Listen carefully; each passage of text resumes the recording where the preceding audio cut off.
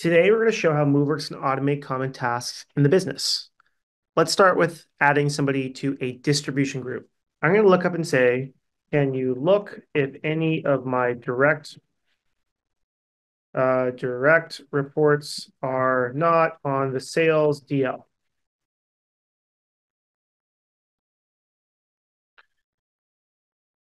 What's happening is that Moveworks is kicking off plugins, in this case, looking at the people registry for the folks that interact with me. They're then looking at the membership status of this particular DL. There are multiple DLs, therefore it's clarifying which one I'm referencing. So I'm going to say the second one. We'll retain context one step to the next. Therefore, users can naturally interact with our solution to be able to find information. In this case, it's looking up my direct reports against the sales EMEA distribution list. And once it's complete, it'll reach back out to me.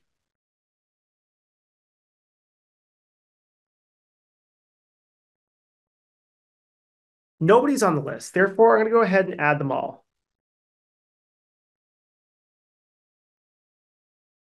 Moveworks allows you to search and act, while also accounting for the fact that multiple tools might be needed to solve a problem. This allows us to interact with the user naturally while providing them the ability to automate tasks, especially in situations where they're not experts.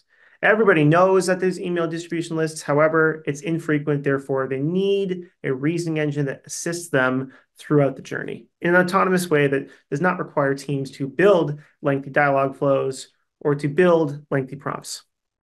Once it's complete, it's going to reach out to me while also following the business process. Note that it's created the ticket in the ticketing system. It's currently looking if there's any approvals. The approval has been completed, and therefore it will follow up with me once the groups have been added, while notifying all the employees who are just added to this distribution group. Let's think of a common use case that happens across the board, trying to plan for vacation. I'm going to say, I would like to take a vacation for the week of Memorial Day, and I'd like to see if I have enough PTO. There's a couple things that have to happen here. One, it needs to understand if I have enough PTO, kicking off our PTO Balance Workday plugin. It's let me know how much hours I have. Is this enough for a week off? Interacting with the message to allow the solution to provide me insights. It says a week is generally 40 hours, so 120 hours is just enough. Therefore, I'm going to go and say, great, can you book it the Memorial Day week? Searching and interacting with data is one thing, but actually completing the action is what the users are looking for. In this case, it's filling in the details of our conversation, saying that we want to take time off from May 27th to the 31st, and all I have to do is confirm before it updates Workday and then updates my calendar, letting me know that the vacation has been booked. How would a common finance request? People always want to know what they're owed based off of company travel. Therefore, we're going to show how users can interact with Concur to get this information. So I'm going to come and say, can you look up my expense reports? And while you're at it, can you tally it up? I want to know what I intend to get once the expense reports are all processed. In this case, looking up the expense reports and then leveraging the benefits of generative AI to be able to interact with data and perform the calculation. Notice it has responded with my five reports, including the total also notice it includes the references, showing the data lookups and where it got that information. So you can see my trip to New York was not paid. There's a comment, and then there's an actual reference to the exact spot that we're pulling this information from. That is going to be key so that users know that the information they're presented is correct. Let's put our subject matter expert hat on. I'm an oper IT operations manager, and I want to provision a server. Therefore, I want to use a Copilot to assist me. I'm going to come in and ask for a VM. Can you help me provision a VM server?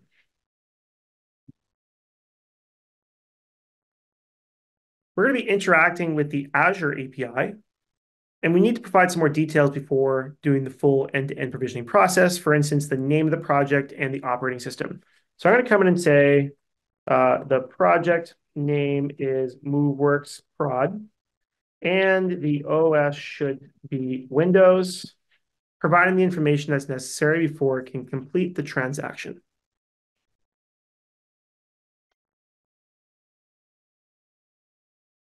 Notice how quick all of these responses are, even though they're powered by generative AI. MoveWorks leverages a series of machine learning models, some of which are fine-tuned for performing individual tasks, which allows us to improve latency of the overall experience. We get the benefits of generative AI to assist us at determining the sequence of plugins required to complete an action. It allows us to summarize it in a friendly way, but we're also able to use other plugins for things like toxicity filtering, domain classification, triaging, and other notable tasks that are required for creating this solution while not having the same challenges that you have with generative models. Let's switch gears and talk about a procurement use case while also touching on the fact that information is being updated on the back end. Imagine I'm an IT finance manager and I want to update a purchase order with new information. I'm going to come in and say, do I have any POs?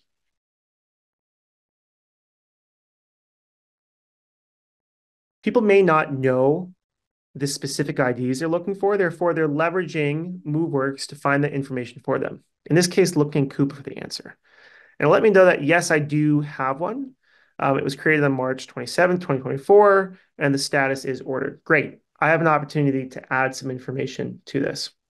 So I go ahead and say, can you um, add a line item to the above uh, PO ID?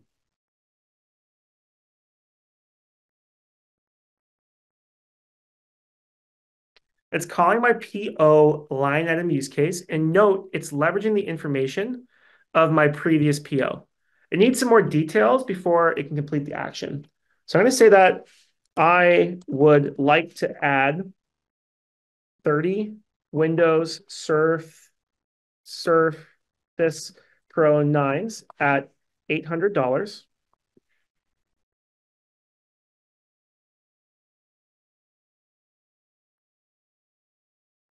Is gathered all the information it needs. I'm going to confirm.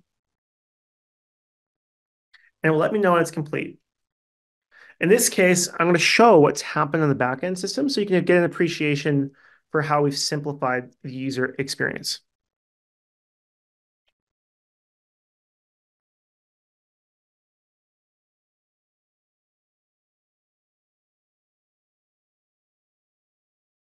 It's been successfully added. So when I go over to Concur, or sorry, Coupa, and I refresh the page, we're going to look for that update. We're going to look for our Windows Surface Pro 9s. You can see the uh, price as well as the number of items.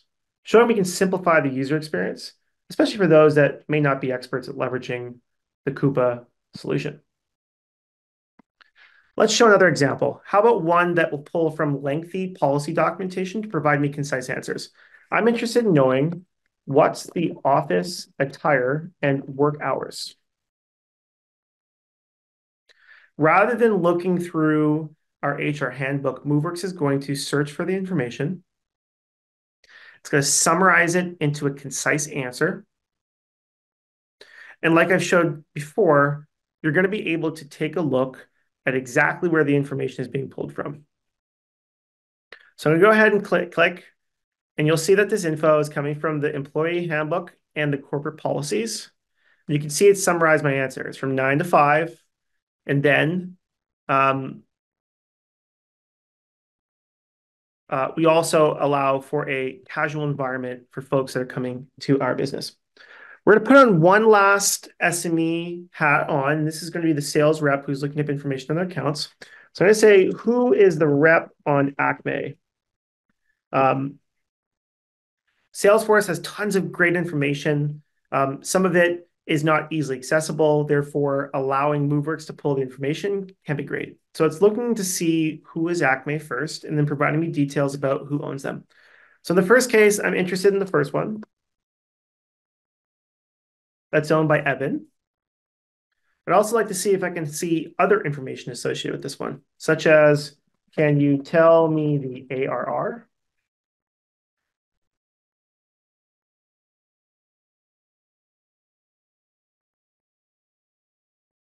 Hundred thousand.